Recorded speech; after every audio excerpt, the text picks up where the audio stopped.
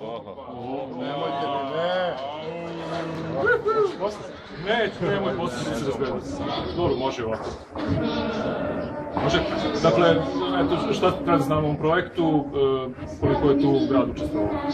Grad je prije svega pomogao u finišu ovog projekta, on je počeo kao projekat MIPA, završio se, to jest razvijao kao projekat Fonda za kapitalno ulaganje, a na kraju grad ipak morao tu da, da uskoči da ne bi ovo bio još jedan niz projekata koji se započeo s velikim entuzijazmom, da ostanu više od pristanja vremena nezavršeni, pošto je ovo je zaista dugo trajalo, ali moram reći da je zaista veliki deo radova vršen i rađen na taj način da se zaista svakog od izvođača morali i pozivati i uveđivati da će novca biti.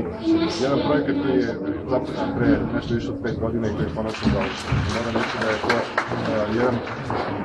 kažem, uh, nastavak tog pristupa da uzmemo stvari u svoje ruke i da rešavamo. Bez obzira ko je kada započinjao i nadam se da će i Narodno pozdravište imati makar tu sudbinu da ne dočeka ove najmlađe klince odavde da kad prevaziđe ovo pozdravište nemaju gdje da nastave svoju pozdravišnu tradiciju i gledaju pozdravišnih predstava. Velika je stvar što je među vremenu i nastao ovaj program podrške građevini, te smo na neki način zajedno s Pokrenom koja je preuzela taj središte da razvoja ovog projekta konkurisali kao projekat koji će biti od značaja za građevinskoj industriji i na neki način ovo kraja. Naravno, ima i specijalnih perioda nekih dugovanja koje će grad preuzeti na sebe da reši, zaista je bilo vreme da se ovo projekat.